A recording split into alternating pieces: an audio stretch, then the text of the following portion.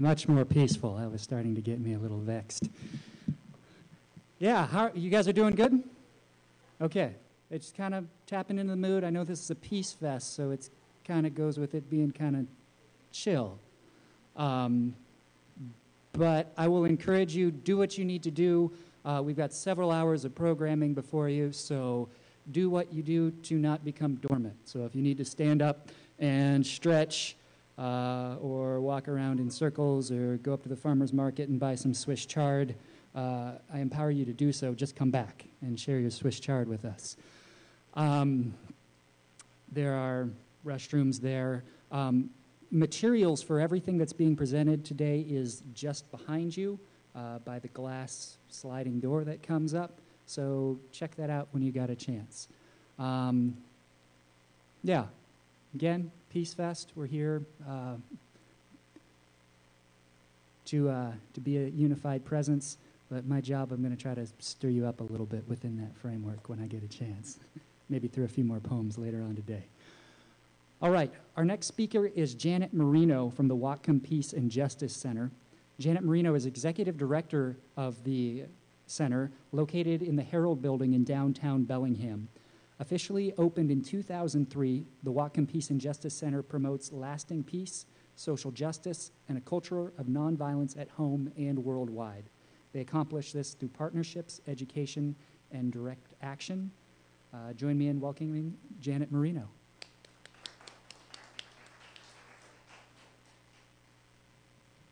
I'm a little bit shorter. I just wanted to thank everyone from uh, Peace Day and from the Foundry, everyone who's collaborated to make this happen today. Uh, I appreciate the opportunity to come and speak about our organization. As he said, our center opened in 2003 in response to uh, the U.S.'s involvement in Afghanistan and Iraq uh, under the original director, Jamie Donaldson. Um, most of the core volunteers that helped begin the center nine years ago are still active in the local peace community, either in, at, directly at the Peace and Justice Center or with the Vigil on Friday afternoons. And many have served a term or more on our board of directors and have helped to shape the policies and growth of the center. The center's involvement in the communities had many different incarnations over the years, but one particular program that's had an, a lasting effect and resonance within the Whatcom County is our Alternatives to Military Service program.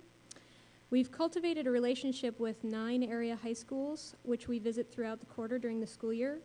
We go during lunch periods and we table in the same location that military recruiters do, but with the mission of peace. We call this counter recruiting. We provide information on funded options for pe young people who are seeking college funding, such as AmeriCorps, City Year, and others. We bring financial aid information from the community colleges and technical colleges. And we developed some of this media for our own program, but we would like to thank the American Friends Service Committee and the War Resisters League for making their brochures, posters, and media available to organizations like ours. And if you visit the website of either of these organizations, you can view full color posters and counter recruiting materials that are available if you know someone who is considering joining the U.S. military. The goal of that pro project is to help young people make an informed decision about service in the U.S. military we encourage them to ask tough questions about the benefits and training that have been offered to them by recruiters, and to take a look at the statistics for people who are exiting military, the military in terms of job training and prospects, college financing, and health. We encourage them to slowly and carefully read over the terms of a military service contract, which is something that they don't often have the opportunity to do when they are signing. In addition to the AMS program, we celebrate the International Day of Peace every year with a large celebration. Last year we had 800 attendees at this celebration. This year's event will be held on Wednesday, September 21st, and begins with a rally at Maritime Heritage Park, emceed by local musician and activist Robert Sarazin Blake, followed by a march through downtown to Assumption Church on Cornwall Avenue, where our main event will be hosted by radio personality Joe Tehan from The Joe Show, with the special guests, the Kulshan Chorus, and our keynote speaker this year will be Rosalinda Guillen She's the Executive Director of Community to Community Development. Rosalinda has um, an amazingly packed schedule, so we feel very happy to have her this year. She is an activist uh, for farm workers and immigration rights. The Whatcom Peace and Justice Center also acts as an incubator for community projects. One of our primary goals is to nurture community leadership in the field of peacemaking.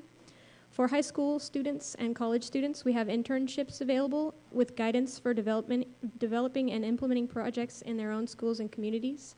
Seniors are invited to do their culminating projects with the Peace Center. College, uh, college students are encouraged to do working internships with the center on a variety of topics and interests. Any individual with a good idea can approach us, and we will see what we can do to connect them with the resources and the support they need to see it through. Every year, both alone in conjunction with other area organizations who have missions similar to ours, we sponsor documentary screenings, educational events, and speakers in the field of peace and justice. This year, we have worked with Whatcom Human Rights Task Force, Socialist Alternative, Western Washington University, Veterans for Peace, and Iraq Veterans Against the War, and many more. We're going to continue those collaborations this year. Many of our educational events are planned well in advance, in advance, and there are some that are in response to world events, and we change as we go along throughout the year. We hope that you'll join our online community on Facebook, our monthly email newsletter, and calendar to keep up with what we're doing in Bellingham and beyond.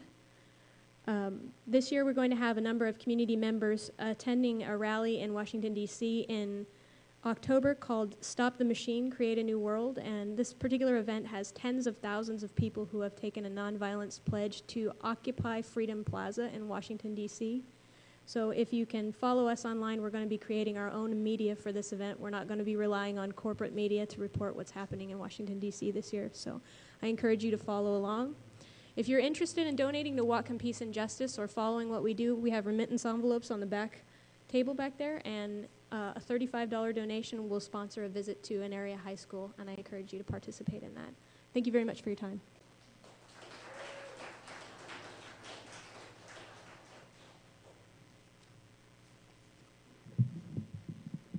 All right, thank you, Janet.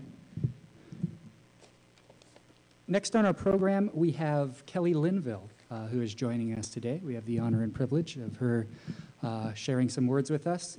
Kelli is a longstanding community member and also former state representative. Um, join me in welcoming Kelli Linville to the stage.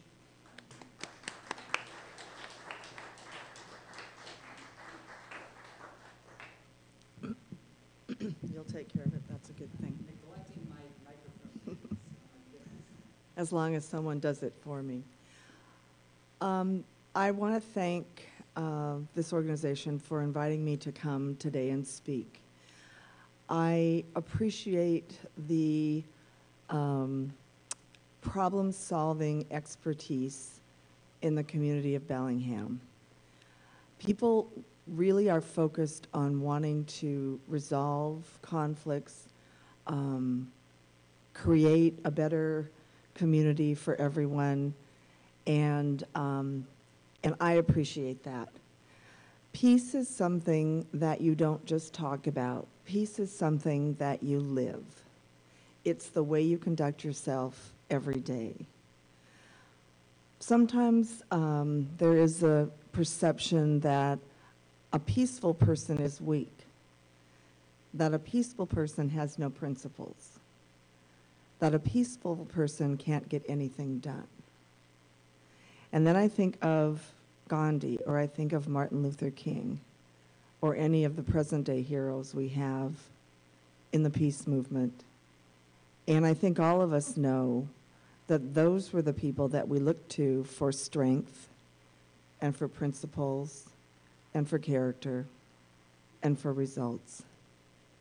So um, that's what I believe um, our political process should be, uh, having been a state legislator and knowing that uh, we are so polarized, that we are so quick to blame, that we are so quick to not respect the, the breadth of opinions that people hold very dearly and very sincerely, whether we agree with them or not, that um, these kinds of activities, this opportunity for people who care about peaceful resolution to problems, respectful, effective ways of getting things done, um, can meet together and share their feelings, their ideas, their philosophy, and their way of getting our community moving forward.